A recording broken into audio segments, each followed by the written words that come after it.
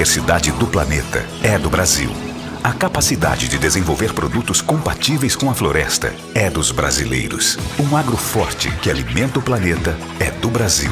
E o trabalho duro, a pesquisa de ponta, o desenvolvimento tecnológico é dos brasileiros. Ser reconhecido pela capacidade produtiva, matriz energética limpa, inovação e pelo maior programa de inclusão social do mundo também é do Brasil. Assim como ser respeitado pelo talento que conquista o mundo é dos brasileiros. A Apex Brasil leva nosso país para o mundo todo, promovendo produtos do Brasil e o talento dos brasileiros. As exportações estão batendo recordes, trazendo os melhores resultados da história. Nosso país está indo cada vez mais longe e conquistando a posição que merece no mundo. É do Brasil, é sustentável, é para o mundo todo. Apex Brasil Governo Federal, União e Reconstrução.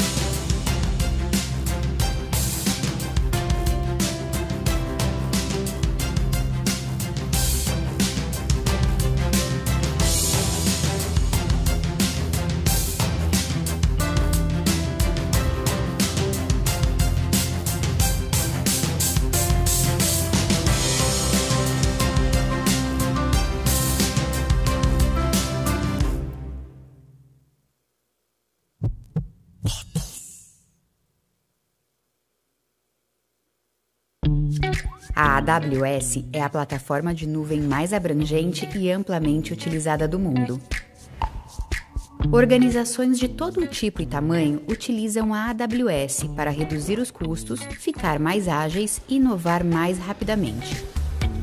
A AWS fornece serviços tecnológicos sob demanda através da internet, com pagamento conforme o seu consumo, a AWS oferece mais serviços e mais funcionalidades do que qualquer outro fornecedor de nuvem. Isso faz com que ela seja mais rápida e fácil e tenha um melhor custo-benefício para migrar as suas aplicações para a nuvem e para criar qualquer coisa que possa imaginar. Com a maior comunidade de clientes em todos os setores de mercado, a AWS tem uma experiência incomparável e uma expertise em que você pode confiar para suas aplicações mais importantes nos mais diversos e imagináveis tipos de uso. Segundo o fundador da Wired, não vivemos uma era de mudanças e sim uma mudança de era. As transformações em diferentes áreas da sociedade e da economia vêm impactando de forma cada vez mais acelerada ao mundo do trabalho. Os estudos apontam que o gap de habilidades atual no Brasil já é de 81%, ou seja, cada 10 gestores contratando, oito deles não encontram pessoas candidatas com habilidades necessárias. O ponto-chave está na diferença entre as habilidades exigidas para as funções que estão deixando de existir e as vagas que estão sendo criadas. Acreditamos que as empresas precisarão ser cada vez mais protagonistas nesta jornada educacional para liderar programas de upskilling e reskilling em larga escala. E tão importante quanto a escala e o volume das pessoas impactadas é garantir que essas oportunidades cheguem às pessoas que historicamente tiveram menos acesso. Venha fazer parte desta jornada com a gente. Vamos agora então para o conteúdo desse dia de hoje. Nós temos uma programação riquíssima ao longo do dia.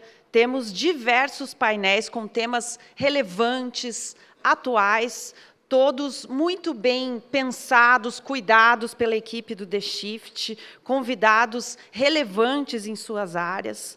Muita informação nesse dia de hoje, mas antes dos painéis, nós temos uma apresentação especial.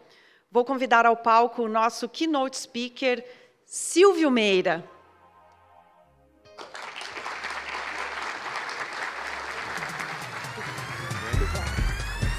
O Silvio Meira é cientista-chefe da TDS Company e professor extraordinário do César School. Todos ansiosos para a apresentação do Silvio. A gente vai poder, ao final da apresentação dele, abrir para perguntas e respostas. Inclusive, eu ouvi o Silvio falando agora há pouco que queria que essa parte fosse até mais longa, né, Silvio? Vai até é, acelerar a apresentação, porque ele conta com a participação aqui de vocês, por ser um, um público de tecnologia muito interessado. Então, vocês já podem ir enviando as perguntas através do QR Code que vai aparecer aqui na tela. Quem está assistindo online também pode enviar perguntas para o Silvio. Então, Silvio, é com você. Obrigado a todos e a todas. Deixa eu pegar meu laptop que está aqui embaixo. A última vez que isso deu errado, fazer isso na hora foi sempre. Mas vamos ver se agora dá certo. Ups. Então, É... Apareceu, agora a gente só precisa fazer mais uma mágica. E uma vez fazendo isso, esse é meu cartão de visitas. Eu sou silvio.meira.com, esse é meu blog, tem 1.100 artigos sobre uh, tecnologia de informação e comunicação e seus impactos na sociedade lá, é só vocês passarem lá. Esse é meu Twitter, ou X, como se diz hoje em dia, é, não é um nome muito bom, mas vocês podem me seguir pelo QR Code. Esse não é o QR Code para fazer perguntas.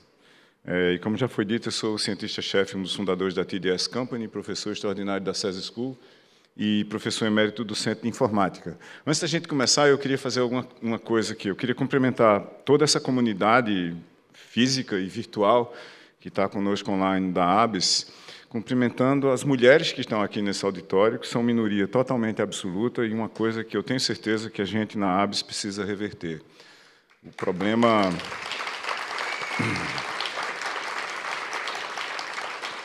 O problema revelado pela redação do Enem de ontem é só uma pequena parte da problemática que o Brasil precisa endereçar. O problema não é necessariamente atacar o reconhecimento ou tratar a, a, a invisibilidade do trabalho de cuidado da mulher brasileira, mas é tratar as mulheres como seres humanos integrais que podem contribuir 100% ou mais com a nossa economia, com a nossa sociedade e política.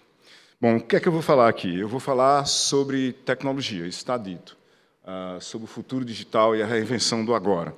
Eu vou falar sobre quatro espaços, três inteligências e muitas transformações no mundo ao nosso redor. Transformações que acontecem numa velocidade é, cada vez maior. O primeiro espaço que eu vou tratar, eu vou começar por um exemplo.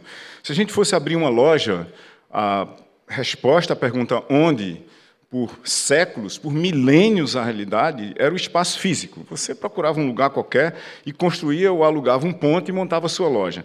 Esse é um dos pontos mais famosos da antiguidade. Essa é a Via da Labondanza, em Pompeia, onde tinha uma loja muito especial que prova para a gente brasileiro que a gente não inventou tudo.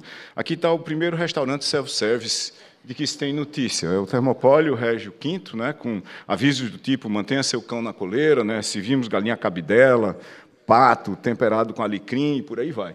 Então, tinha inclusive marketing naquela época. Então, você passava aqui, né, pagava no fim com dracmas ou alguma coisa parecida.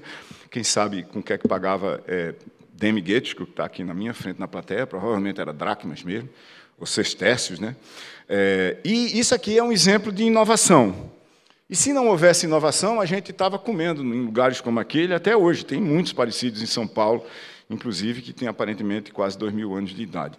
Mas inovação fez a gente mudar daquilo para outras coisas, outras formas de se alimentar, levou entrega de comida em casa. Inovação tem uma definição extremamente simples, que não tem nada a ver com tecnologia, é de 1972, do Peter Drucker, é mudança no comportamento de agentes no mercado, como fornecedores e consumidores de qualquer coisa. Inovação pode demandar tecnologia, pode ser habilitada por tecnologia, pode ser acelerada por tecnologia, pode ser intrinsecamente dependente de tecnologia, mas é mudança no comportamento de agentes no mercado, como fornecedores e consumidores de qualquer coisa. Normalmente, inovação é uma escadaria assim, né, com degraus desiguais, uns apontam para baixo, são menores uns do que os outros, e as empresas e pessoas tropeçam é, frequente e dramaticamente, nessas escadarias, quando tentam subir e mudar seus comportamentos e dos seus consumidores e parceiros no mercado. Mas, vez por outra, a gente passa por degraus como esse. A gente está passando por degraus como esse agora, e não é um degrau só, são vários. Normalmente, a gente percebe esses degraus como um mega pulso, mas eles são curvas S. Eles começam mais ou menos assim. E a gente demora muito a perceber isso aqui, e quando a gente percebe aqui, normalmente já é tarde demais. E essa nossa conversa é para a gente tentar descobrir o que é que está acontecendo, que já está aqui agora, e tentar antecipar muita coisa que vai acontecer depois disso, para a gente não perder os próximos degraus. Esses degraus vermelhos a gente chama de transformações. Transformações são inovações radicais, são diparas. Você sai de um lugar que você entendia, tinha performances, KPIs, OKRs, tinha conselho, tinha auditoria, normas da ABNT e assim por diante, e você vai para um lugar que você não conhece. Você vai para um espaço de execução imperfeita do desconhecido. Um lugar onde você literalmente vai passar a fazer gambiarras. A gente odeia isso no mercado, nos negócios. Né? Você chega no conselho de uma empresa, dessas que estão aqui na ABS hoje, dizer, vamos fazer uma gambiarra, todo mundo é contra. Mas o problema é que 100% do software que está rodando esse evento aqui, todo mundo, é uma gambiarra. No último um quarto de século, a gente escreveu bilhões de linhas de gambiarras. A gente escreveu a sociedade em código. A gente fez com que absolutamente tudo que está acontecendo ao nosso redor agora fosse código. Eu acho que nenhum de vocês aqui está eh, nesse evento sem um celular, a menos que tenha sido roubado na entrada. Então, todo mundo tem um celular, tá certo? Os celulares nossos e o código que está em todo canto executa algoritmos.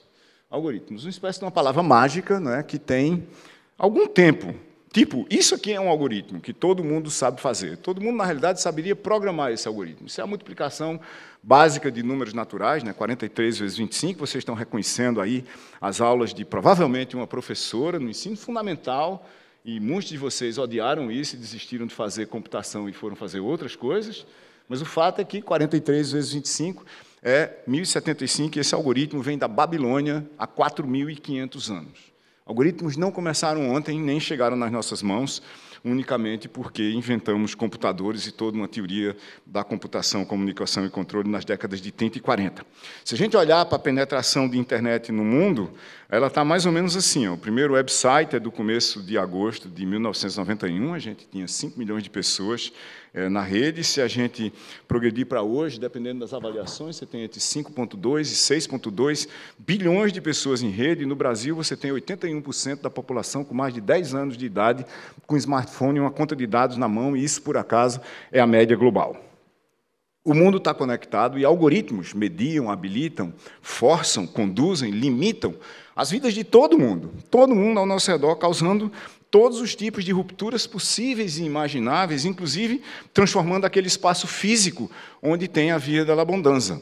Se o espaço dos negócios, por exemplo, era necessariamente físico, você introduzir nesse espaço uma dimensão digital, mas um digital novo, um digital em rede. O digital já existia desde a década de 40, no mínimo, se a gente regredir, a gente pode ir para 700 para os teares do mundo árabe, né, onde algoritmos faziam parte da teia dos, dos tapetes maravilhosos da antiga Pérsia. Mas esse digital em rede que chegou com a internet, ele opera uma mágica muito peculiar. Ele virtualiza, ele estende, ele deslocaliza o que existia no espaço físico, criando, por exemplo, está aqui a página, a primeira página da Amazon. Né?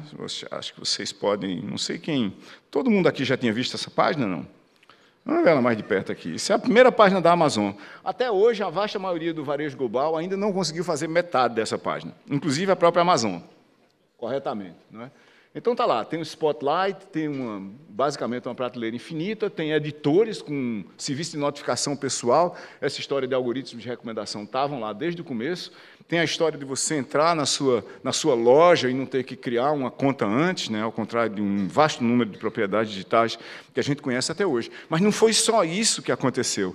O digital em rede levou à criação de uma outra dimensão do espaço. A dimensão social, se já existia o físico que o digital habilitava, eu vou ter que pegar de volta a minha caneta aqui, que ela sumiu. é, se já existia o físico, que o digital aumentava, que o digital estendia, apareceu um social para orquestrar, para articular o que a gente faz em rede. Se um conjunto de lojas existia no espaço físico e era virtualizado pelo digital em rede, um conjunto de pessoas articuladas em rede, também socialmente, passou a ir nesse negócio, descartar porque era ruim o suficiente, procurar um outro e aí depois dizer para todo mundo que esse outro era muito bom, criando o que a gente chama de efeitos de rede, fenômenos econômicos que ocorrem quando o uso de alguma coisa por mais gente causa um efeito de aumento significativo de valor, às vezes muito além do preço, para todas as outras pessoas, inclusive as que não usam aquele produto ou serviço, ou que nem conheciam aquele produto ou serviço. Esse é um novo domínio da realidade. Esse é o domínio que eu chamo do espaço digital de dimensões física, digital e social. Nesse espaço digital, o que ocorre são coisas completamente diferentes do que eram possíveis apenas no espaço físico. Manuel Castells, na Sociedade em Rede, em 1996, disse que no futuro, quando tudo estivesse conectado, lembrem, 81% de todo mundo com mais de 10 anos no Brasil tem um smartphone e uma conta de dados. A gente viveria em sequências de trocas e interações propositais, porque a gente decide fazer, repetitivas, porque fazemos muitas vezes e programáveis, porque são em parte feitas por software realizadas por agentes interdependentes em rede sobre as plataformas políticas, econômicas e simbólicas da sociedade. Castells não dizia exatamente desse jeito. Esse é o meu jeito de dizer o que Castells diz na Sociedade em Rede. Se vocês nunca leram o livro, está aqui o resumo em um slide. Plataformas. Nós vivemos num mundo mediado, habilitado, conduzido, limitado, como eu já disse, por plataformas, que são sistemas programáveis de suporte a comunidades e aplicações. E logo, como suportam aplicações, são personalizáveis por desenvolvedores externos. E assim podem ser adaptados a todo tipo de necessidades e nichos que os desenvolvedores originais não contemplaram. Se não suporta a comunidade, não é uma plataforma. Se não é programável, não é uma plataforma. 99% de tudo que tem no mercado dizendo que é plataforma, não é uma plataforma. Não deixa de ser relevante porque é um sistema de informação online mas não é uma plataforma. Plataformas são combinações de infraestruturas, serviços e regras de uso de conjuntos de interfaces que permitem o acesso a infraestruturas e serviços, em cima das quais comunidades de indivíduos, de coletivos e organizações escrevem aplicações que habilitam a gente se conectar à plataforma e uns aos outros, estabelecer relacionamentos e formar comunidades, e nessas comunidades fazer parte de interações que criam significados que levam, por exemplo, à demanda por produtos e serviços que, por sua vez, são a base das transações nos mercados. Quase tudo que a gente tem no mundo ao nosso redor são plataformas que habilitam sistemas de comunidades que são os novos mercados, são ecossistemas. E a mudança causada por isso não é trivial, porque a gente tem que reentender os, o que significa um negócio. E um negócio em rede nunca está sozinho, ele é sempre um ecossistema. Um ecossistema de negócio é uma comunidade de atores conectados em rede, relacionados por atividades interdependentes. Em rede, a gente não sai de dependência para independência, sai de dependência para interdependência, alinhados esses agentes por interações para materializar a proposta de valor. E como você está em rede e as barreiras e os limites são difusos, você coopete coopera e compete para a sobrevivência e sucesso mútuo. Se a gente for definir um pouco mais abaixo, que é importante aqui para o nosso entendimento de mundo, um ecossistema de negócios, se a gente seguir Peter Drucker, 1973, tem um ecossistema de inovação e um de marketing. O que, é que esses dois fazem? O de inovação é um arranjo colaborativo.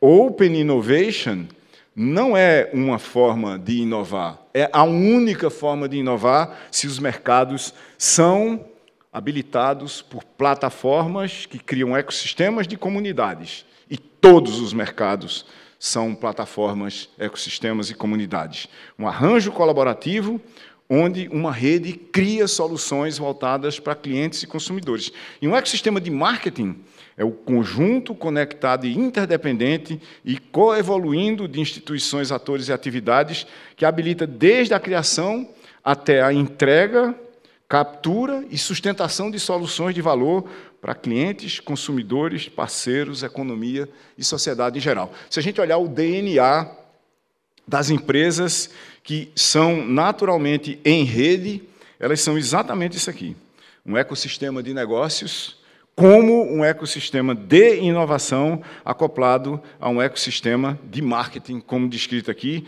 que funciona usando intensivamente conexões, relacionamentos e interações para criar significados, que são culturas de comunidades onde acontecem transações.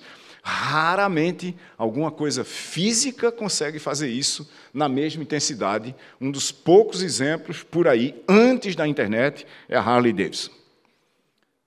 Sério, não estou brincando. É muito difícil fazer isso, mesmo online. Isso, obviamente, causa rupturas. O espaço digital redefine o que é que é inovação e redefine o que é que é marketing. Redefine os dois, na realidade. Primeiro, se a gente olhar para o caso de marketing, físico, digital e social não são canais. Não existe essa coisa de omnicanalidade, porque no espaço digital não há canais. Há dimensões. Canais são uma velha teoria da comunicação da década de 40 que dizia que a gente devia responder as perguntas quem diz o que para quem, que canal e que efeito isso tem, como se fosse um haikai de Milo Fernandes. Digital é uma outra coisa. É um espaço de fluxos. A gente começa num pequeno paralelepípedo, que é uma restrição do espaço como um todo, com alguém dizendo: Você já viu a lavadora tal? E depois de muitas sequências de trocas e interações, aparece uma lavadora de roupa conectada à internet na sua casa. E isso precisa ser reestudado. Eu reestudo isso junto com Rosário Pompeia num manifesto chamado Manifesto para o Marketing do Futuro, onde a gente diz, vocês podem pegar nesse Code, que é o mesmo desse aqui, que no espaço digital, onde tudo são ecossistemas de plataformas, o QR Code é o mesmo, acontecem transformações ainda mais radicais, que não são o marketing para fora do negócio, é o negócio como um todo, visto como uma teoria geral do marketing, que, como Platão dizia, é a teoria geral dos mercados, transformações nos negócios e organizações em larguíssima escala saindo da revolução industrial para a era da informação e do conhecimento em rede, para uma era de plataformas, ecossistemas de comunidades e mercados, consequentemente, de plataformas. E a coisa mais radical que acontece aqui é a inversão do modelo de negócios. Se a gente for para a era industrial clássica, você fazia um produto, tinha um mercado, e o problema que as empresas e sua inovação e marketing tinham era ir para esse mercado e procurar quem precisava do seu produto. Mas lembra, tem uma transformação em curso. Uma transformação em curso, os negócios desse mundo transformado, e não desse mundo legado, eles criam ecossistemas de comunidades, ecossistemas de comunidades, e numa comunidade qualquer, eles procuram produtos para resolver problemas de pessoas como clientes. Nenhuma empresa tem cliente aqui mais. Eles procuram serviços para resolver problemas de pessoas como clientes ou de grupos de pessoas. Em última análise, eles estão nas comunidades e nos ecossistemas como um todo, tentando descobrir que problemas as pessoas têm o tempo todo. E isso exige um redesenho radical das organizações. A gente tem que sair das organizações literalmente piramidais, de silos, de camadas de poder, com um bocado de gente obedecendo ordens aqui embaixo, que seguem os princípios de comando e controle da era industrial, de decisão, hierarquia, decomposição para conquistar a complexidade do trabalho, de especialização para montar linhas de montagem, de otimizar buscando ótipos globais, estudando cases que não dá mais tempo para estudar hoje, porque eles ficam obsoletos em três meses, resolvendo conflitos, atomizando a organização, planejando de forma centralizada, executando na forma just do it, e com um monte de gerentes para garantir que as pessoas estão fazendo o que deveriam fazer, quando aquele pulso de transformação acontece e os mercados viram redes e as empresas viram redes, nós estamos falando de agilidade. Agilidade é uma forma diferente de velocidade. É a velocidade de tomada de decisão de não ir mais para lá, mas de continuar indo para lá sempre que é o caso. Pouquíssima gente entendeu isso. A maioria das empresas acha que agilidade são squads. Eu visito algumas delas e dizem, e normalmente faço a seguinte pergunta: quem toma decisão sobre o que é que o squad faz? Eu ah, é o presidente. Certo. Isso aqui leva a uma nova economia. Nessa nova economia, não só as empresas, mas os mercados funcionam com princípios de aprendizado e performance. Os negócios estão na era da informação e do conhecimento. Os líderes articulam propósitos, orquestram estratégia e colaboração, descentralizam comunicação e distribuem decisões no negócio como um todo. Os três R's de robustez, responsividade e resiliência continuam valendo, mas agora num espaço de flexibilidade, adaptação e inovação. Eu descrevo essa transformação nesse texto, Fundações para os Futuros Digitais, está nesse QR Code no site da TDS. Quem quiser, é só pegar lá. Muito bem. Eu descrevi o primeiro espaço e a macro transformação que nós estamos vivendo, basicamente, há 30 anos. Isso chegou agora de uma vez por todas. Não dá mais para a gente se esconder. Ainda dava para se esconder há 10 anos, mas agora chegou de vez. O segundo espaço dessa coisa toda é que tudo o que a gente viu, que eu disse até aqui agora, foi transformado por essa sala. Tudo foi transformado por informática. E informática são só três coisas: computação, que é um conjunto de teorias da década de 30, basicamente, comunicação, que é um conjunto de teorias da década de 40. Né, aqui tem, basicamente, Alan Turing e mais um bocado de gente, como Kurt Gödel. Aqui tem Claude Shannon, mais um bocado de gente. E uma teoria, um conjunto de teorias de controle, que é uma espécie de... Como é que a gente usa informação para ação à distância? Não é uma teoria de controle remoto de televisão, se bem que parece. É, que é, basicamente, a partir de Norbert Wiener, ali em 1948, 49. Então, essa sala é um espaço. E foi essa sala que criou essa parede aqui. Aquela parede de digital e social foi toda criada por computação, comunicação e controle. E vejam, internet das coisas não chegou de verdade ainda. Está faltando internet das coisas aqui. Está faltando um outro monte de coisas de comunicação.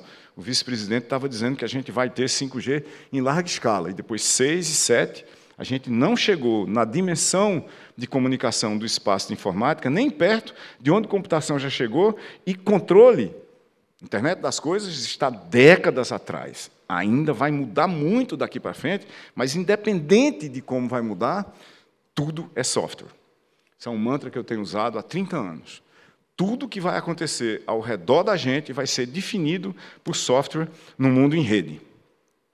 Nesse mundo em rede, nessa transição que a gente está fazendo agora, nesse pulso transformador de sair de organizações piramidais para mercados e organizações em rede, o que vai acontecer nessas bordas aqui, por necessidade competitiva e de sobrevivência, são decisões os negócios vão tomar muito mais decisões.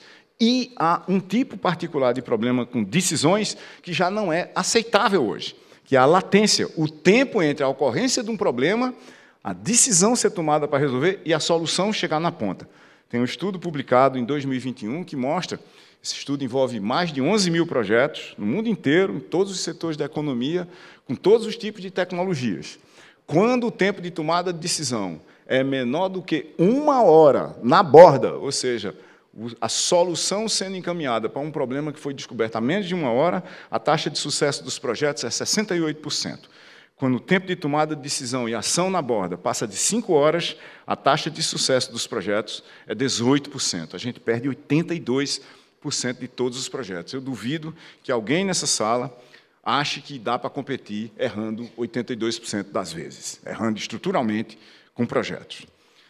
Estamos entrando, como vimos lá atrás, numa era de aprendizado e performance. E na economia do conhecimento, todo negócio é de aprendizado. Não podia ser diferente. Se a economia é de conhecimento, o negócio não é de repetição. É óbvio que não é. Para todo mundo. Só que agora devia ser absolutamente óbvio e crítico que não é.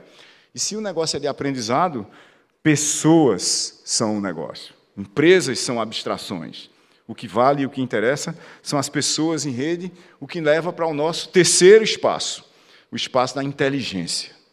O espaço que a gente não sabe explicar direito nem o que é. Nós não sabemos, assim, em detalhe, ou em mínimo detalhe, o que é, por exemplo, memória. Como é que a gente associa o que a gente está dizendo aqui agora com as experiências sensoriais que a gente está tendo nessa sala nesse momento? Também não sabemos. Mas nós podemos dizer, por aproximação de engenharia, né, de fazer coisas em três dimensões, que inteligência é a dimensão informacional do processamento dos sinais ao nosso redor, do armazenamento de alguma forma das consequências desses sinais, como talvez experiências virtuais e a nossa resposta à realidade ao nosso redor. Tem outra dimensão da inteligência que é a nossa capacidade de nos aliarmos a outros seres ao nosso redor, eventualmente virtuais, para resolver problemas que a gente não consegue resolver sozinho. E uma terceira dimensão que é a nossa autonomia, a nossa capacidade de tomada de decisão de fazer ou não fazer alguma coisa, como vocês hoje, por exemplo, de manhã, tomaram a decisão de vir aqui. E podem, a decisão de, podem tomar a decisão de ir embora dessa palestra a qualquer momento. Quando a gente bota isso num cubo, aqui está a nossa capacidade mental computacional ou informacional, aqui está a autonomia como dimensão e aqui está a socialização como dimensão. Nós estamos aqui, ou pelo menos, por enquanto, estamos ali, no topo das três. Inteligências artificiais estão aqui, ó. estão muito abaixo de formigas e abelhas, que estão ali, ó, tá vendo? E cefalópodes. Pássaros, então, estão numa outra dimensão da realidade em relação às inteligências artificiais, quando a gente considera as três dimensões da inteligência: da inteligência pessoal, não é da inteligência coletiva. E, obviamente, primatas não humanos estão muito acima disso tudo, têm uma distância gigantesca daqui para cá. Mas o problema, como eu acho que a gente vai discutir depois, é que a gente não precisa de inteligência artificial geral para substituir o trabalho humano. A gente só precisa de inteligência mais ou menos. Porque a vasta maioria do trabalho humano é mais ou menos. Não tem, assim, vocês não vão para o trabalho daqui a pouco, cada um de vocês vai criar uma lei da relatividade. Não é assim que funciona. A gente vai fazer coisas bizarras.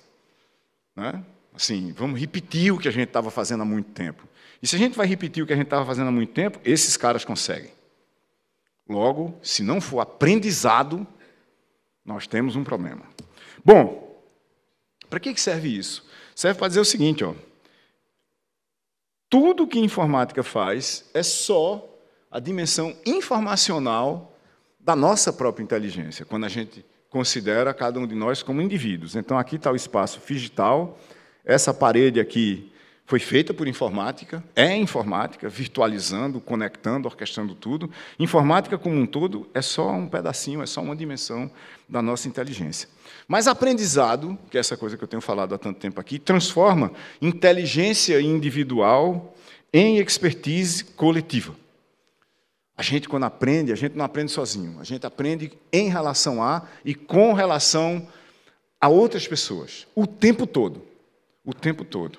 Isso nos leva à quarta etapa da nossa interpretação do universo aqui, ao quarto espaço de interesse da gente. Até pouco tempo, eram basicamente duas dimensões da inteligência que a gente considerava, inclusive em processo de aprendizado. Né? A gente tinha a nossa dimensão individual de inteligência e a dimensão social. Nós, articulados em rede.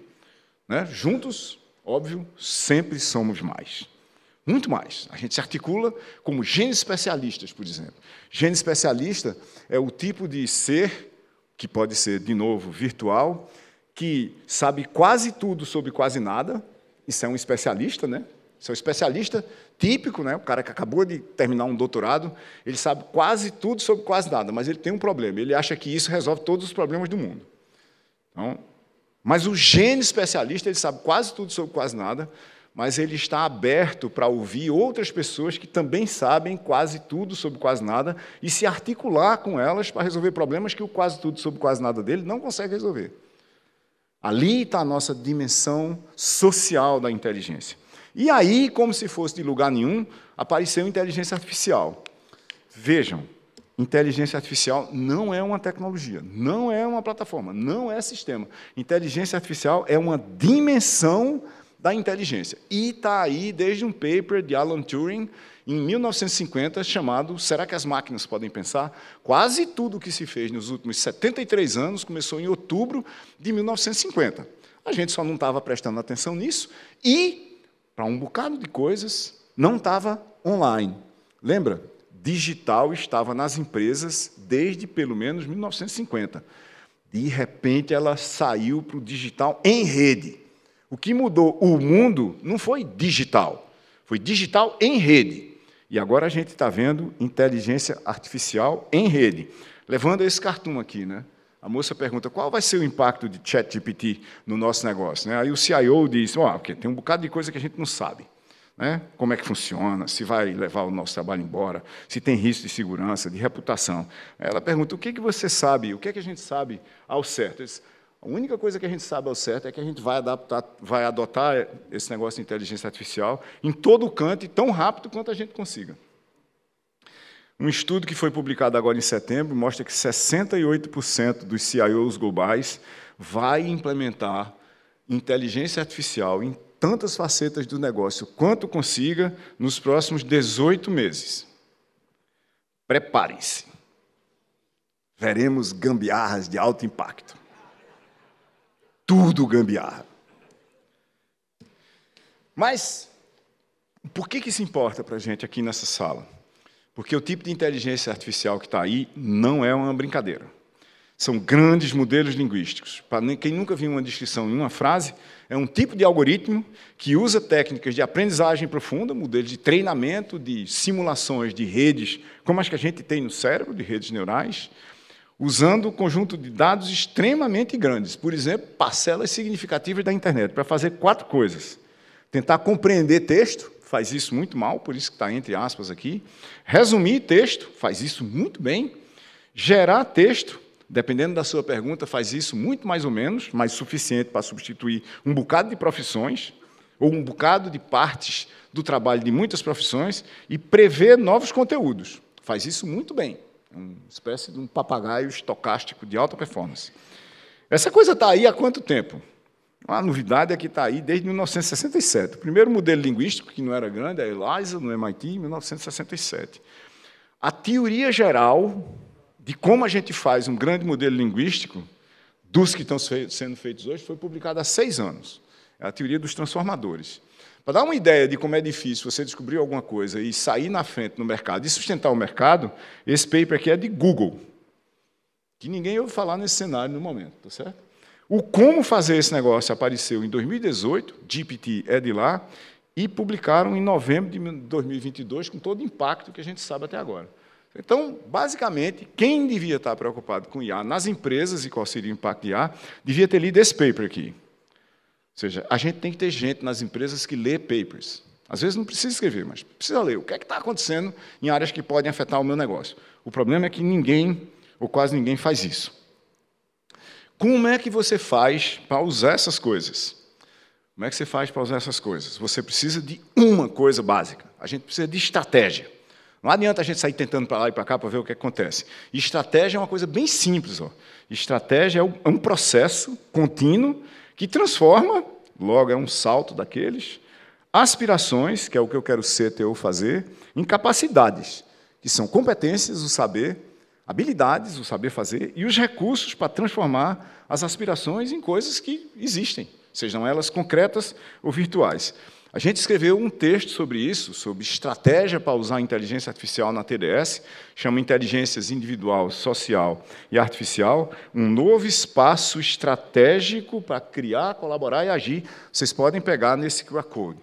É um texto de 90 páginas, foi escrito por cinco pesquisadores e cinco agentes inteligentes, é, basicamente em quatro dias, com o Dia das Mães no meio, com a gente fazendo tudo o que a gente tinha que fazer.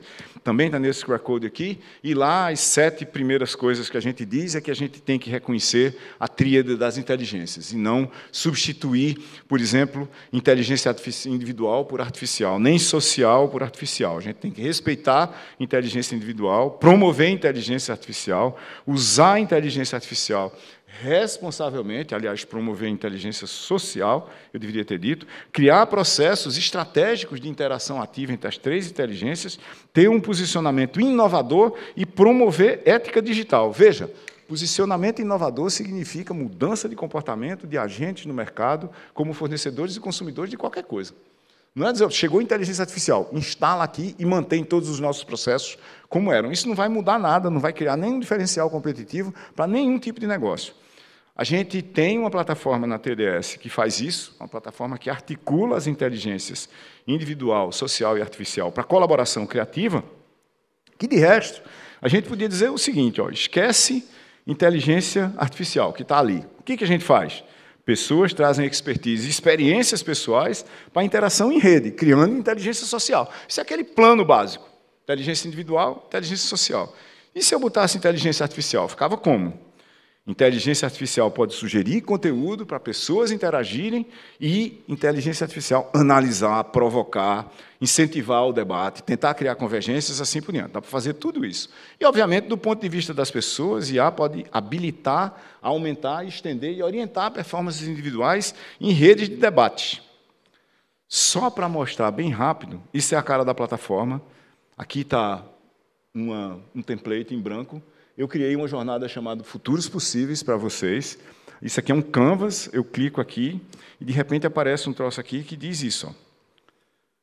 Vamos criar um ponto de partida. Tem vários pontos ao mapa que a gente pode criar. Eu criei esse ponto de partida aqui, que é habilitado por inteligência artificial. Cheguei lá e disse: olha, eu quero fazer uma certa coisa. Tecnologia, desde o advento da escrita, tem sido uma ferramenta ambivalente, blá, blá, blá. Isso aqui é um tópico de aula. Estou supondo aqui que vocês seriam os meus alunos hoje. Então, clico aqui, ó, produz um material para mim. Uma inteligência artificial da TDS, essa daqui é nossa mesmo, vai lá e cria uma introdução sobre o tema e três questões para a gente debater. Como é que tecnologia pode ser usada para promover conexões significativas e atênticas? Qual a importância do contato físico? E qual o papel da tecnologia nisso? Quais são as questões éticas e de privacidade que deveriam ser consideradas ao analisar o avanço tecnológico no Brasil? Se eu clicar nesse botão daqui de baixo, ela cria um ponto no mapa ali que tem a introdução, que a IA criou, e tem essa pergunta verde que ela criou. Se a gente clicar nessa pergunta, a gente vai para um debate. E está aberto, e é anônimo. Vocês podem passar lá, ninguém vai saber quem são vocês. Você tem que só logar na plataforma, você pode entrar lá e ver como é que funciona. Quem quiser, é só ir lá. Esse QR Code aqui é exatamente o mesmo que essa plataforma faz, é criar um ambiente de decision intelligence. A gente assume que as pessoas vão ter que decidir mais. Por quê? Porque o mundo é em rede, a decisão vai para a borda. Você não vai pegar IA e centralizar e ter burrice artificial numa pirâmide semi-vertical em silo de uma organização hierárquica da era industrial para competir em rede. IA vai para a borda, para empoderar pessoas e redes de pessoas, para mudar como é que a gente faz as coisas. Exemplo do que fazer com isso? Deixa você capturar o QR Code. Sim, foi. Beleza. Exemplo do que fazer com isso? 15 pessoas e mais 12 inteligências artificiais, se eu não me engano, da TDS, criaram um livro chamado Valor da Estratégia, em um dia e meio. É um livro inteiro, com ilustrações, o escambau, nessa mesma plataforma, usando exatamente isso que eu mostrei para vocês aqui, só que a gente soltou um grupo de agentes inteligentes em rede. Essa, essa jornada que vocês vão entrar não tem esses agentes inteligentes, tá? Eles não estão lá. Eu não botei ainda. Se vocês quiserem, eu boto. Depois a gente conversa sobre isso. Mas esse texto foi escrito em um dia e meio, de forma descentralizada e distribuída, com concurso de agentes inteligentes para fazer isso. Podia não ser um livro sobre o valor da estratégia, podia ser uma estratégia de negócios como um todo, ou uma estratégia de um produto e serviço. Revendo os nossos quatro espaços. Essa parede foi criada por informática, esse é o espaço digital, aqui está informática. É, ops, ops, ops, ops. Digital, informática, inteligência individual e aqui está inteligência at large. At large. Tá certo? A nossa inteligência individual como um todo é só uma dimensão da inteligência at large. E isso imerso no mundo de plataformas, ecossistemas e inteligências em si. Ou seja, é como se fosse um grande sistema fractal ou recursivo onde todas as partes interagem. Isso cria grandes desafios. O primeiro é de como é que a gente mantém um ecossistema sustentável para IA, por exemplo, ou para algoritmos como um todo, que eu prefiro. Ao invés da gente falar de IA, a gente está tentando regular IA no Brasil, sem a maioria das pessoas que está tentando regular IA saber o que é um algoritmo.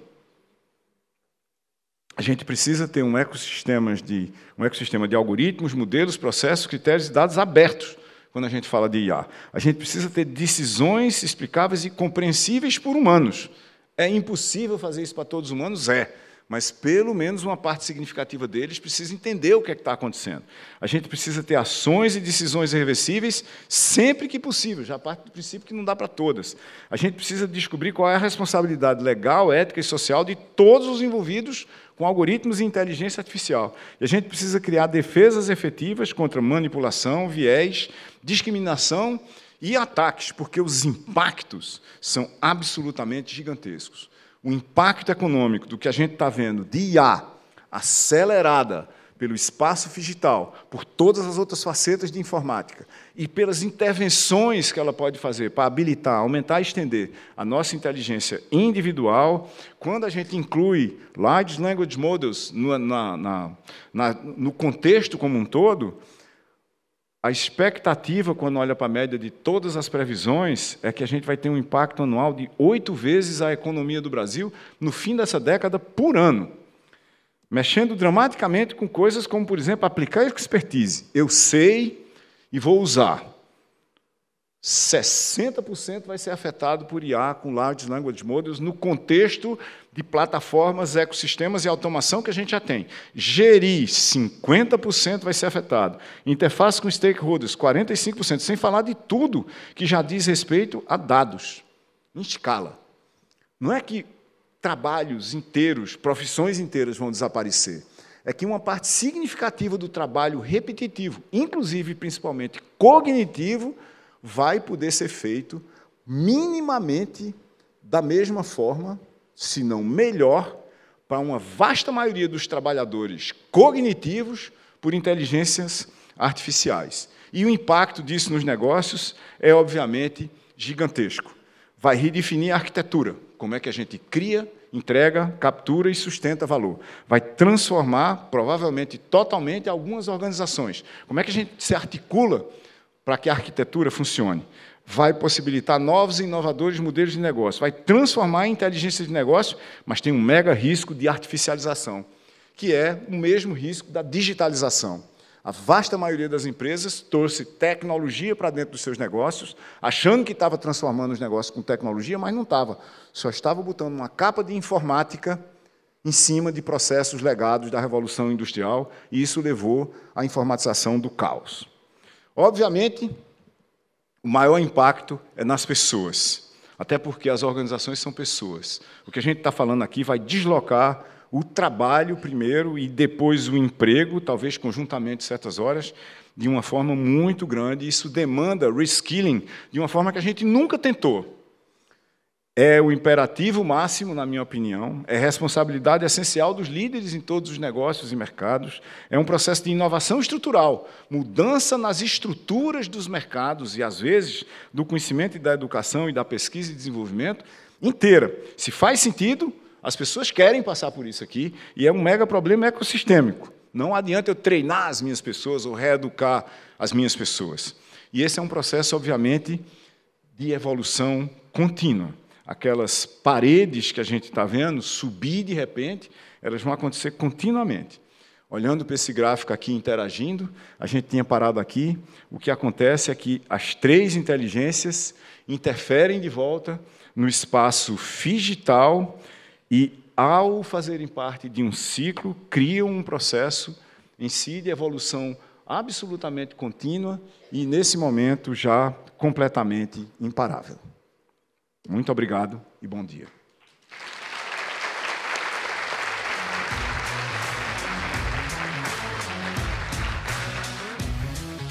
Silvio, muito obrigada. Eu vou pedir, por gentileza, para você se sentar para a gente dar início a uma sessão de perguntas e respostas.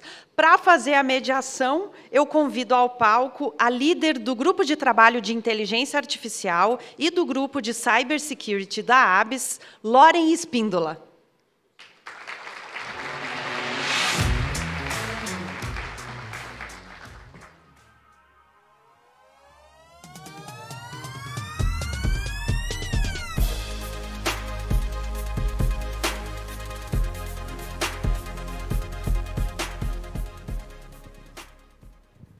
Acho que está ligado. Uau! Eu posso falar uau por vocês. Primeiro, agradecer a oportunidade de estar aqui com uma pessoa que eu admiro demais, que vem contribuindo muito com todas as discussões que a gente vem tendo. É, na verdade, que a gente vem tentando, né, Silvio, ter aqui no Brasil. É um tema que impacta todos, mas que, enfim, nem todos querem entender.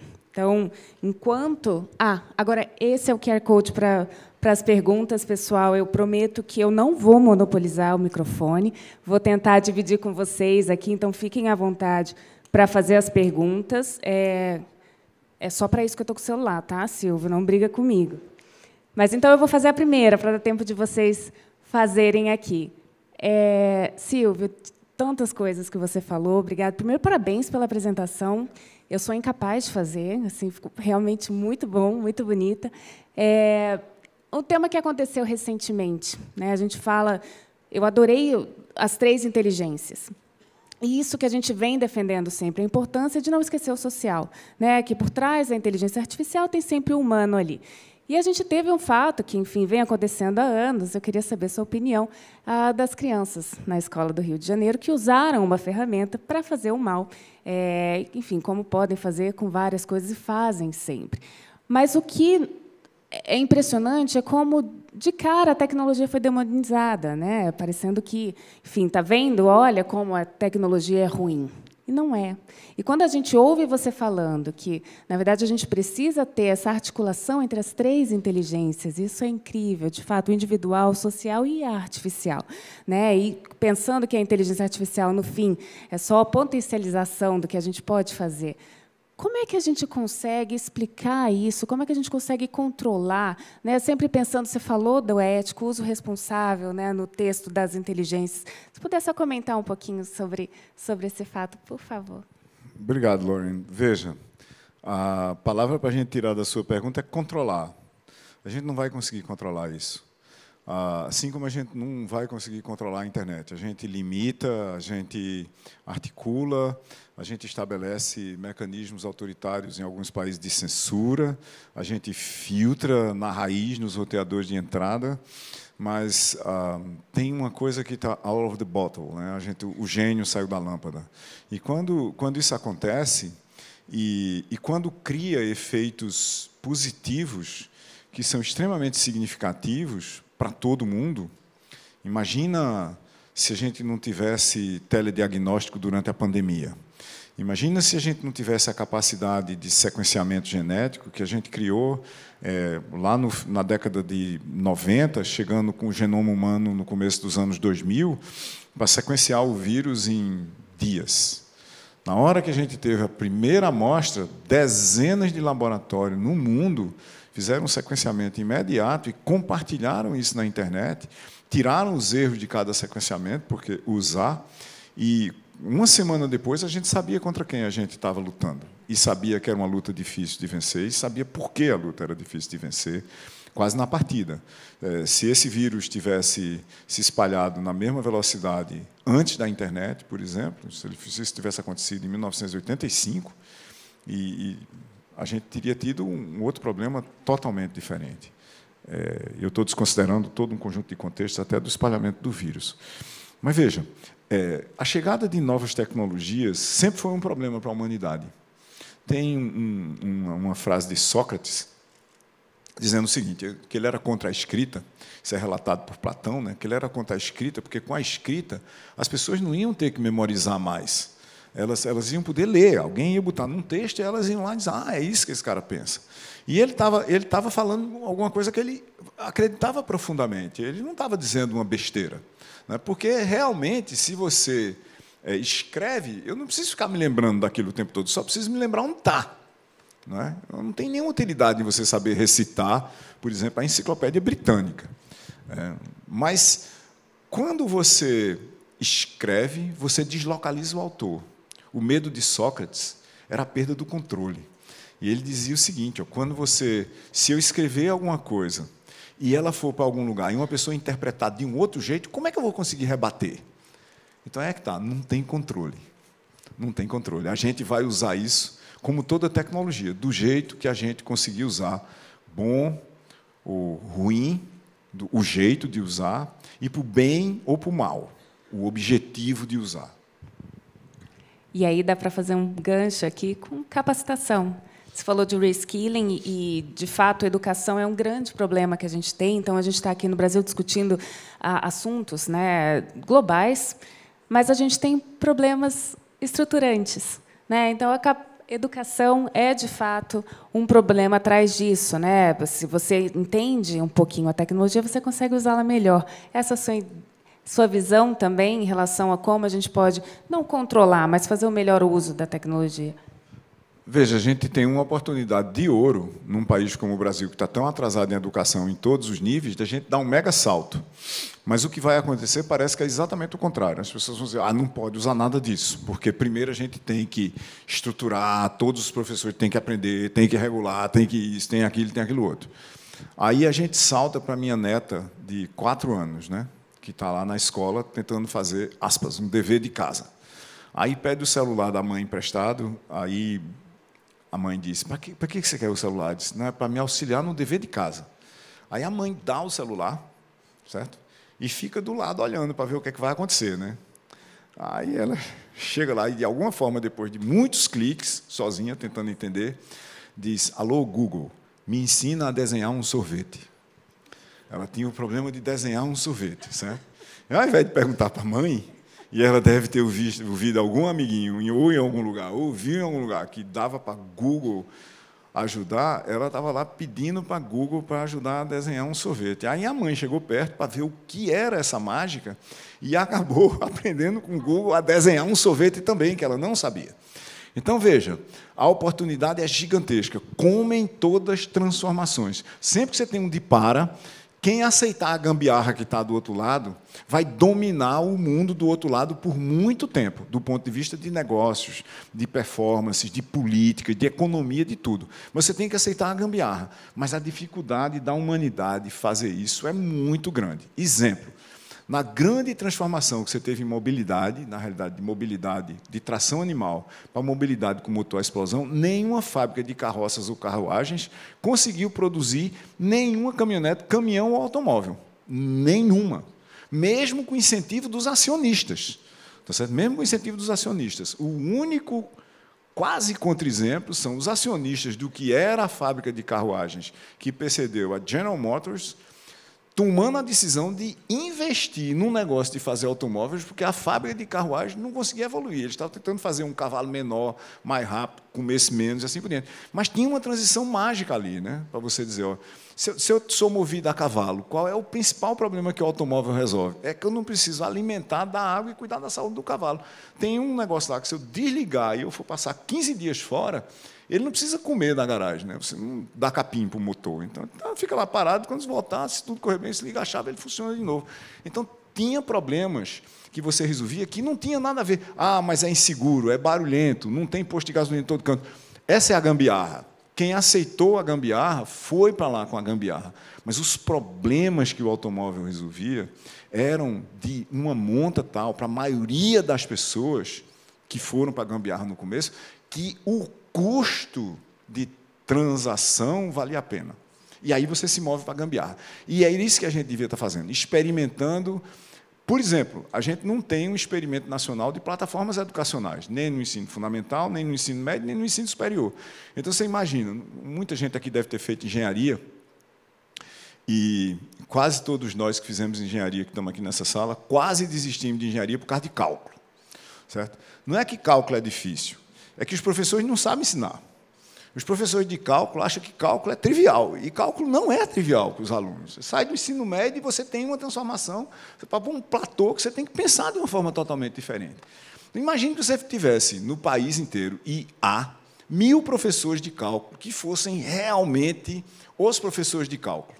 Tá certo? Para tudo que fosse de engenharia, administração, todo mundo precisasse de cálculo. Imagine você criasse uma plataforma educacional chamada Cálculo Online, que tivesse esses caras, usando inteligência artificial, isso, aquilo, outro, esses caras aqui vão ensinar cálculo. Aí você vai perguntar, mas e todos os outros caras que ensinam cálculo mal? Eles vão fazer o quê da vida deles? Eles vão procurar outra coisa para fazer, porque eles não sabem ensinar cálculo.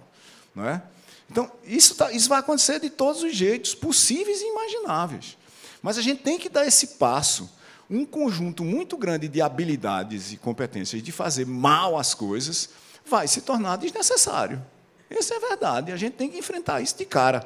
E principalmente no setor educacional, que, na minha opinião, é um dos setores mais atrasados do Brasil, de todas as formas possíveis e imagináveis. Eu estou falando como professor e estou me incluindo no problema, que é já para o pessoal não começar a twittar na, na, na, na internet dizendo que eu estou falando isso aqui. Então, eu sou parte do problema também.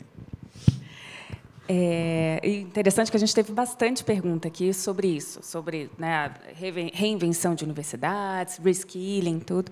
Ah, isso você abordou muito bem, obviamente. Essa eu achei interessante. A gente vive uma bolha por causa das diferenças sociais. Então, como você acha, aliás, você não acha que também haverá uma bolha discriminatória digital entre microempresas e grandes empresas, e aí aqui eles falam big tech, ou entre as classes sociais? Veja, olhando para as empresas, se você olha para, por exemplo, a gente teve uma democratização dos grandes modelos linguísticos em um ano, vai completar um ano agora em novembro que você publicou o ChatGPT, você tem cerca de 16 mil modelos linguísticos disponíveis, tá certo? A gente, a TDS é um negócio de 100 pessoas. Nós rodamos dois modelos linguísticos nós próprios. O custo de treinamento desses modelos caiu por um fator de 100 mil desde novembro do ano passado para cá. Então, eu consigo treinar um modelo linguístico que é útil para mim, resolve problemas extremamente complexos que eu tenho, mas não precisa ser a Bíblia dos modelos linguísticos que resolve todos os problemas, tá certo? Então tem inteligência humana e social, inteligência individual e social, para você descobrir como é que você usa aquela outra dimensão lá. Porque se você for só para a interface do modelo dominante, que eu não preciso mencionar qual é, você vai pagar o custo do modelo dominante e vai estar limitado por ele. Dois problemas paga muito mais do que paga para todo mundo e está limitado pelo que ele não só faz, mas pelo que ele deixa você fazer, que não é tudo que ele faz. Não é? Esse, é, esse é o primeiro problema. Existe um processo de democratização radical, mas as pessoas têm que querer correr o risco de ir atrás disso. Elas têm que querer correr o risco de tentar entender uma ferramenta que talvez seja a nova forma de gerar energia para os negócios. É como se você dissesse, chegou a eletricidade. Aí tem alguém lá que diz, ah, não, não, não, mas eu uso uma roda d'água. E eu Putz, roda d'água, eu entendo tudo de roda d'água. Não quero esse negócio de eletricidade aqui. Ainda por cima, dá choque, mata, tem isso, aquilo. Não quero esse negócio aqui. Roda d'água não dá choque, como todos nós sabemos. Então, veja, é, esse, esse é o primeiro problema do ponto de vista das empresas. A oportunidade para as pequenas empresas é gigantesca, mas elas têm que correr o risco. Agora, eu acho que tem um outro lado a, o, o, risco para as grandes empresas é infinito, porque elas estão sentadas lá dizendo, ah, eu estou tranquilo aqui, eu não preciso disso não também. Ou então, eu vou terceirizar essa reflexão inteirinha para um fornecedor que vai chegar aqui e me entregar. Se você não entender o que está acontecendo, é a mesma coisa que em 1970 você dizer, eu nunca vou precisar de programação, isso aqui é um departamento separado, que eu vou mandar eles fazerem alguma coisa sem eles participarem do processo de redesenho do meu negócio. Então, tem um redesenho dos negócios baseado em IA que tem que ser tratado estrategicamente, de uma forma reflexiva, com todo mundo aprendendo. Né? Você, você tem alguém hoje que não sabe qual é o potencial, não é o seu, é da competição, que você não sabe nem quem é, entrar no mercado que você acha que domina, usando essa combinação de plataformas com automação, com outros tipos de uso da inteligência individual. Veja, você ter humanos que estão realizando trabalhos repetitivos que podem ser realizados por inteligências artificiais agora, isso, isso não faz sentido, entendeu? A gente montou na TDS, de brincadeira, a gente montou uma revista científica. A gente montou uma revista científica, que é totalmente digital. Que é, você escreve um paper, ela é uma revista científica de design, isso é um exercício interno da TDS, certo? Aí você escreve um paper e manda para essa revista. Então a gente pegou vários papers que foram publicados em revistas, dos muito bons aos muito ruins, para ser analisado por essa inteligência artificial que exerce o papel de um comitê de programa, é uma rede de agentes. Então tem agente especialista em X, Y, Z, de todo o editorial da revista. Essa revista publica isso, isso e aquilo. Eu tenho um agente para cada tópico que a revista publica, certo? Então, quando você pega os melhores e os piores papers que você descobre por impacto, os melhores são sempre aqueles que têm mais impacto, então você tem uma história deles. E os piores são aqueles que publicou e ninguém leu e ninguém referiu, porque ninguém se referiu a eles porque ninguém leu. Aí você joga para esses agentes inteligentes, ele escolhe para publicar exatamente os que tiveram mais impacto, sem saber de quem são, entendeu? Você tira o, o, título, onde é que foi publicado, bota o texto lá, põe agentes que estão isolados, eles não estão lendo a rede para ver se o paper foi publicado, ou seja, você faz um experimento cego e eles escolhem os melhores papers. Aí, para que você precisa botar humanos para fazer isso? Ah, não, porque faltou uma referência a fulano. Porque... Não precisa fazer isso. Isso é um algoritmo. Então, o que a gente tem? Na Revolução Industrial, por mais incrível que pareça, você treinava os humanos para executarem algoritmos. É isso que um montador de roda faz, é isso que um atendente de balcão faz, é isso que um vendedor faz com técnicas, com não sei o que lá, são algoritmos. O que, a gente vai ter que fazer agora? A gente vai ter que pegar a expertise humana, que é a combinação da inteligência individual com a coletiva, isso é a expertise humana, e a gente vai ter que refundá-la para ela escrever algoritmos o problema muda completamente. Quem não estiver escrevendo algoritmos vai ser substituído por uma máquina que executa o seu algoritmo. E muito ao contrário do que a gente pensava, que você ia automatizar o garçom, o, cara, o bombeiro do posto de gasolina, isso, aquilo, aquilo outro, esses, essas coisas são difíceis de serem automatizadas. Né? Quanto tempo vocês acham assim que a gente vai automatizar? automatizar? Tirando São Paulo, que eu conheço as rodovias do interior, mas Vamos fazer uma viagem para o interior do Nordeste. Daqui a quanto tempo vai ter um carro autônomo numa rodovia no interior do Nordeste? Uns, na, no ritmo atual, uns 200 anos. Né? Se a regulação deixar. 2.250, aí a gente vai ter, porque, rapaz, é uma corrida de obstáculos. Né? Então, o que a gente vai automatizar? A gente vai automatizar o advogado, o jornalista, o engenheiro que fica repetindo o projeto, o designer que faz a mesma coisa o tempo todo, o ilustrador que tem que fazer uma capa a partir de um texto. A gente vai automatizar, sabe quem, na minha opinião? O aluno de doutorado mediano e todo mundo abaixo dele. Por quê? Porque o custo de transação de eu ficar conversando com um aluno de doutorado para dizer para ele o que é que eu quero que ele faça no seu lá é muito maior, a menos que ele seja da mediana para cima, é muito maior do que eu mesmo catar uma inteligência artificial e dizer, ó, a partir disso aqui, com essas referências e essas perguntas-chave aqui, me dê uma lei que talvez sirva para esse negócio. Ô, gente, em segundos vem a lei. E aí eu pego, faço um modelo, eu mesmo faço um modelo computacional, simulo e digo, olha, não funciona. Esse exponencial aqui está no lugar errado. Tente com esse teste aqui, com esses dados para ver. Aí o modelo diz, é mesmo. Que tal mudar o exponente para essa outra coisa aqui? Putz, em meia hora eu tenho uma lei na minha frente. E eu levaria meses para convencer um aluno disso, entendeu? Então muda tudo, inclusive o que é um doutorado, o que é, que é um programa de pesquisa na universidade e assim por diante. Verdade. E você falou de transformação digital e a importância de que não é só colocar a tecnologia ali, né? Precisa ter todo um conjunto, a rede, a cooperação pensando atrás.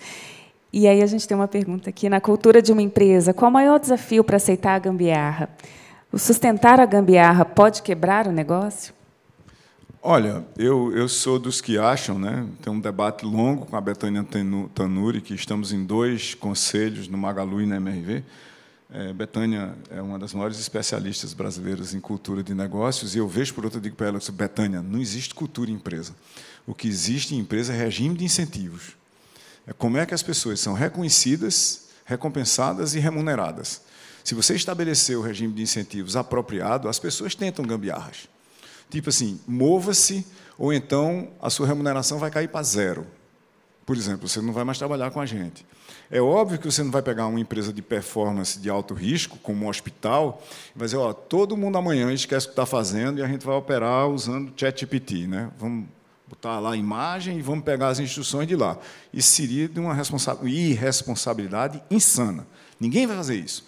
Mas você não ter, numa empresa de qualquer porte, minimamente razoável hoje, eu estou falando de 50 pessoas para cima, alguém que está lá dizendo como é que o que está acontecendo muda o meu negócio, com todo esse potencial de impacto que nos cerca hoje, que está representado naqueles meus quatro diagramas finais ali, é suicídio puro, é suicídio empresarial puro. E veja, o mundo não está preocupado com isso, não. Eu, o ano passado, eu dei uma palestra no convento de São Francisco eh, de Assis, no Recife, é, perto do aniversário dele. E aí eu, como estava no convento e a palestra era lá, eu fui estudar a época dele, né? E existem menos de 250 empresas no mundo hoje criadas antes de 1250, que foi o número que eu arredondei ali para eu me lembrar, senão não ia me lembrar. Né? Empresas não foram feitas para sobreviver, não. Se tivessem sido, a gente tinha um bando de empresas hoje aqui com mil anos, com dois mil. Quantas empresas brasileiras têm 100 anos? O, rapaz, o número é muito pequeno. Quantas empresas brasileiras têm 50 anos mantendo alta performance? Pouquíssimas. Empresas são feitas para morrer. Para reverter isso, você tem que estar o tempo todo fazendo de paras e pegando gambiarras e transformando em performances. Não é impossível, não. Todas as empresas que existiram hoje foram uma gambiarra algum tempo atrás. Governos foram gambiarras, é bom a gente lembrar isso. Forças armadas foram gambiarras. O negócio mais organizado que você consegue pensar hoje, se funcionar bem, é uma força armada. E lá atrás era uma gambiarra, foi se desenvolvendo métodos, processos lá, e está mudando radicalmente hoje. Então não tem essa história. Uma empresa não é um Big Bang que nasce perfeito. Mas, de repente, você cria um conselho. Aí o conselho cria não sei quantos comitês. Aí você traz uma auditoria, uma certificação, não sei lá. Aí você petrifica o negócio todinho, fossiliza e ele morre. Pronto. É, by the way, eu digo isso o tempo todo nos conselhos onde eu estou, tá? Não estou dizendo só para vocês, não. Falando de Brasil e a inovação, o nosso ambiente aqui, né? ainda mais você que vem do Porto Digital, é, será que a gente vai chegar lá? O Brasil sempre chega lá quando se declara a si próprio, né? quando declara a si próprio, um mega desafio. Né? A gente chegou lá em sustentabilidade alimentar. A gente saiu da década de 70, onde o Brasil é, era impossivelmente complexo do ponto de vista de atendimento das demandas de nutrição da população. Criou um Embrapa, a Embrapa criou o Cerrado, é bom dizer isso, a Embrapa criou uma região produtora inteirinha. A, o empreendedorismo e investimento de brasileiros tornou o Brasil uma megapotência alimentar no mundo inteiro. A gente fez isso em, em mobilidade aérea. A Embraer, é resultado do ITA e do CTA e de todo o complexo aeronáutico que começou em São José dos Campos, depois se espalhou por parte do Brasil, é, criou um negócio de classe global que é líder na mobilidade aérea de médio curso, médio porte. Somos só nós. Nós temos quase um monopólio de mobilidade aérea de médio curso, médio porte, com altíssima tecnologia. Mas veja, aí é que está uma coisa do nosso pensamento. Tanto o efeito Embrapa como o efeito Embraer são rede. A Embraer faz, faz muito bem duas coisas: inovação, no sentido de mudar o comportamento dela e do mercado, e marketing, posicionamento do negócio dela no mercado. A Embraer não faz o trem de pouso. A Embraer não faz o avionics. A Embraer não faz os bancos do avião. A Embraer não faz os motores. A Embraer não faz as asas. Ela não faz. Ela concebe a coisa e põe ela no mercado. Da mesma forma que a Apple faz, que a Nike faz, que tanta gente faz. Ela pensa em rede. E a Embrapa, a Embrapa não foi plantar feijão. Né? Ela não foi lá, diz, peraí, eu tenho um monopólio estatal chamado Cobras, Comidas Brasileiras. Não foi assim, né? A gente criou um negócio, chamou uma rede monstruosa para fazer. Mas não, as pessoas dizem, eu vou dominar esse negócio aqui todinho. Não dá tempo, esqueça. Só tem uma forma de inovar em rede. É Open Innovation. Todas as outras formas morreram. Ótima frase de impacto para a gente encerrar. Eu vou só roubar a sua do começo, falando que é tudo sobre software. É tudo sobre software. Tudo sobre software. Silvia, muito obrigada. Infelizmente, nosso tempo acabou. Eu extrapolei um pouquinho, desculpa, pessoal, mas não podia perder a oportunidade. Silvia, obrigada. Foi uma honra ter você aqui, uma aula para a gente. Muito obrigada. Grande prazer. Bom dia, bom trabalho.